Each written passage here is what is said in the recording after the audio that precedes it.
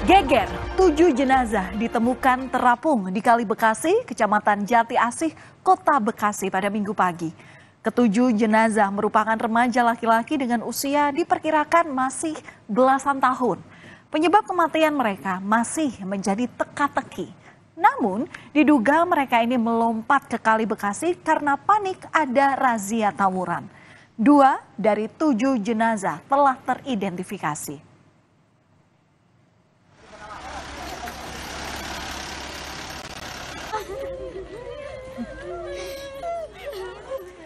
Tangis keluarga Ahmad Davi pecah ketika harus menerima kenyataan kalau Davi pulang ke rumah dalam kondisi tak lagi bernyawa. Davi merupakan satu remaja dari tujuh jenazah yang ditemukan di Kali Bekasi pada hari Minggu lalu. Kakak korban sempat menahan Davi pergi. Kala Davi waktu itu pamit pergi bersama temannya menghadiri ulang tahun pada Sabtu dini hari. Namun hingga Sabtu malam, Davi tak kunjung kembali ke rumah. Sempat mencari-cari Davi, pihak keluarga akhirnya mendengar berita yang menggegerkan publik pada minggu pagi. Di rumah sakit Polri, jenazah Davi lalu dikenali oleh pihak keluarga. Dari kawan korban, almarhum disebut menceburkan diri ke Kali Bekasi karena panik melihat adanya patroli. Posisinya dia pada nyebur ke kali itu mm -hmm. dia nggak bisa nyelamatin si Dapi. Oh dia tahu berarti temannya tahu si almarhum nyebur ke kali. Iya dia juga ngikut nyebur oh, gitu. Dia sempat ikut bareng. Ikut. Iya ngikut nyebur. Apa kita tanya ke rumah sakit kan? Tanya kita info-info di rumah sakit Porli gitu kan. Dikenalinya dari Dikenal, apa? Iya. Dari ciri-ciri pakaian. Pakaian. Pakaiannya, kalung ibu saya tuh kan itu percis Cerita yang tak jauh berbeda juga dialami oleh Muhammad Rizki. Ditemukan tewas di Kali Bekasi, remaja berusia 19 tahun ini menyusul ayah dan ibunya yang sudah lebih dahulu berpulang. Almarhum baru lulus sekolah dan tinggal bersama kakeknya. Sebelumnya almarhum ini sempat pamit kepada Bibi untuk pergi ke hajatan salah satu temannya di hari Jumat malam.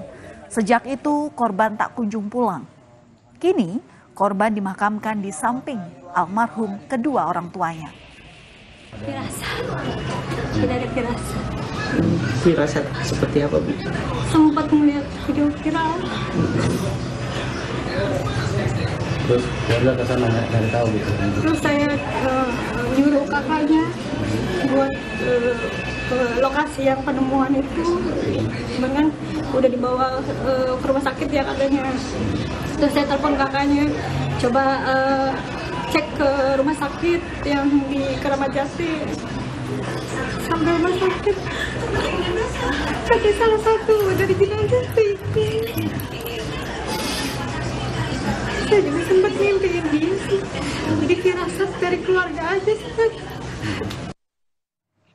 Datang ke rumah sakit Polri, sejumlah orang tua dan anggota keluarga pun tengah cemas menanti hasil identifikasi di rumah sakit Polri. Mereka ingin mengetahui pasti apakah ada anggota keluarganya yang juga menjadi korban atau tidak. Pasalnya, saudara, masih ada lima jenazah yang belum jelas identitasnya. Selain itu, keluarga dari salah satu terduga korban tujuh jenazah yang ditemukan di Kali Bekasi kembali mendatangi posko di DVI Rumah Sakit Polri Kramat Jati. Keluarga merasa dipersulit oleh kepolisian untuk menemui jenazah yang diduga merupakan anak mereka. Mereka mengaku telah memberikan semua data pembanding seperti sidik jari, DNA ke pihak Rumah Sakit Polri Kramat Jati. Namun pihak rumah sakit masih meminta keluarga korban untuk menunggu dari hasil identifikasi. Katanya sidik jari sudah ada, bisa dipulangkan. Sedangkan sampai sekarang belum. Ya. Tapi dokumen apa yang tadi dibawa? Tadi Uh, eh, ijazah. raport ijazah. Ijazah sidik yang ada jari. sidik jarinya. Kan itu, Itu- yang di- di- diminta. Diminta, yang yang lainnya sudah. Peristiwa ini semuanya berawal pada minggu pagi, saudara. Warga digegerkan dengan temuan jenazah di Kali Bekasi. Awalnya warga hendak mencari kucing untuk diberi makan. Namun saksi justru melihat adanya jasad yang terapung di sungai. Tidak hanya satu, dua jenazah. Warga melihat ada lima jenazah di sisi kanan dan kiri sungai. Warga lalu meminta bantuan untuk dilakukan evakuasi. Petugas gabungan, polisi, Bazarnas, dan BPBD bersama warga kembali menemukan dua jenazah lagi yang tak jauh dari lokasi awal. pakai baju oranye ya. Ada lagi. Pasca ditemukannya tujuh remaja tewas di aliran Kali Bekasi pada minggu kemarin, beredar di media sosial video sejumlah remaja yang diamankan polisi di daerah Jati Asih, Kota Bekasi dalam kondisi basah kuyup. Dalam video amatir warga terlihat pakaian yang dikenakan oleh beberapa remaja itu adalah dalam kondisi basah. Para remaja itu diduga baru saja menyeberangi Kali Bekasi. Video itu diduga diambil pada hari Sabtu pagi. Di tempat yang terpisah, seorang warga mengaku dirinya melihat remaja lewat dari arah Kali Bekasi pada hari Sabtu sekitar pukul 12 malam. Lalu tidak berselang lama, sejumlah polisi juga memintanya untuk membantu remaja yang tenggelam di aliran Kali Bekasi. Dirinya kemudian mendapati satu remaja yang nyaris tenggelam dan seorang remaja yang sedang bersembunyi. Dari keterangan remaja yang diselamatkan, masih ada tujuh temannya yang tenggelam.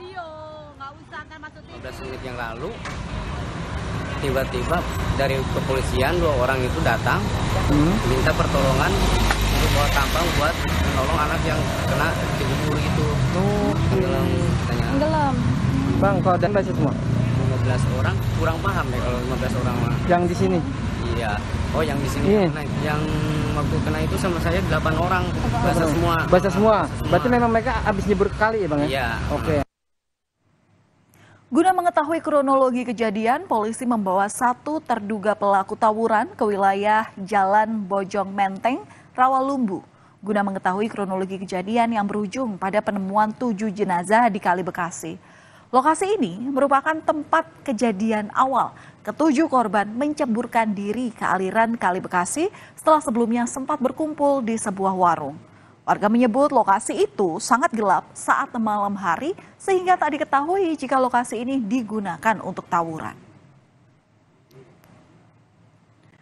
Menurut keterangan Polsek Rawalumbu pada Sabtu dini hari, pihak kepolisian dari tim presisi Polres Metro Bekasi Kota mendapatkan laporan dari masyarakat adanya sekelompok remaja diduga akan terlibat tawuran.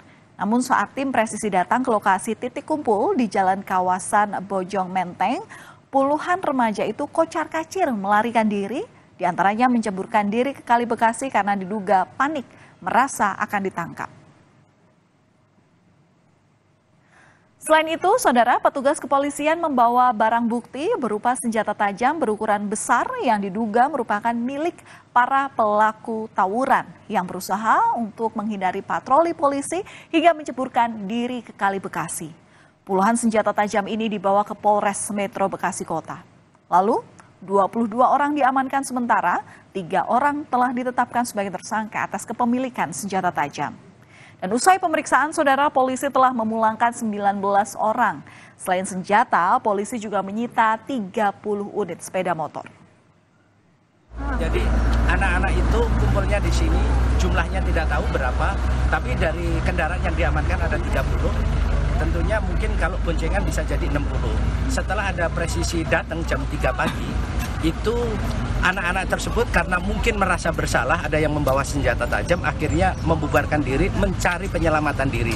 Sehingga banyak yang terjun ke kali gitu. Pak, ini berarti mau udah tawuran atau baru mau tawuran? belum mau tawuran. Baru mau tawuran. Oke. baru mau So, tawuran. Janjinya di diduga. sini gitu, dengan- janjiannya di sini Ini dan di sini. base campnya betul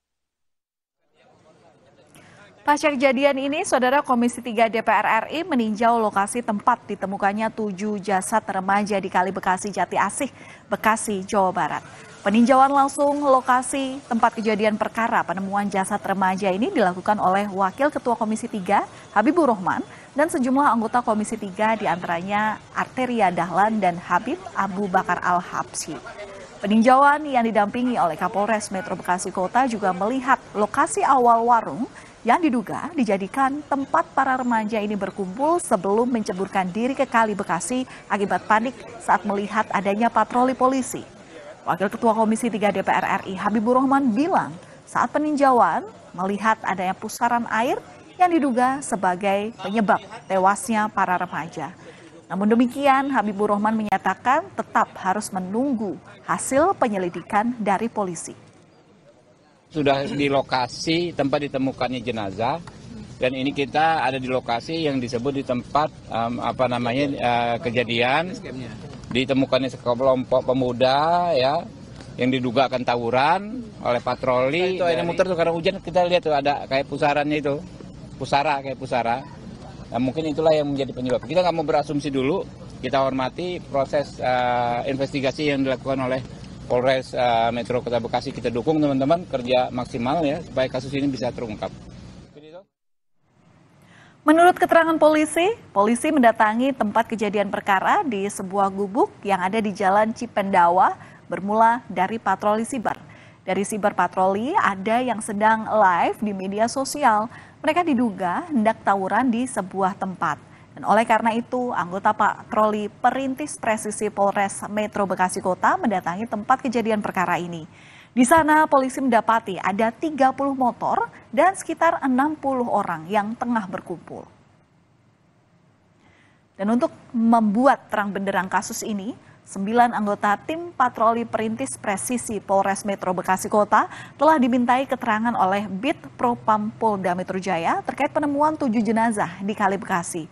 Kesembilan anggota itu sudah kembali bertugas di kesatuan mereka. Meski demikian, hasil pemeriksaan masih didalami dan belum dapat diumumkan. Saat ini tim dari Propam masih melakukan pendalaman. Setidaknya ada Eh, sembilan tugas patroli perintis yang dilakukan diambil keterangan, kemudian ada enam warga yang ada di sekitar TKP yang dilakukan pendalaman juga oleh Bitpropam Polda Metro Jaya. Yang waktu rekan-rekan ini masih berproses. Hingga detik ini masih ada pertanyaan, apa sebetulnya yang menjadi sebab pasti kematian tujuh remaja di Kali Bekasi? Kita akan nantikan hasil dari perkembangan penyelidikan atas kasus ini, sekaligus hasil identifikasi akhir jenazah yang ditemukan tewas di Kali Bekasi. Bermodus mengajak berbelanja orang tua, seorang perempuan nekat menculik anak berusia 2 tahun dari genggaman ibunya di Bandung, Jawa Barat. Informasi ini selengkapnya akan kami hadirkan usai jeda hanya di Berita Utama.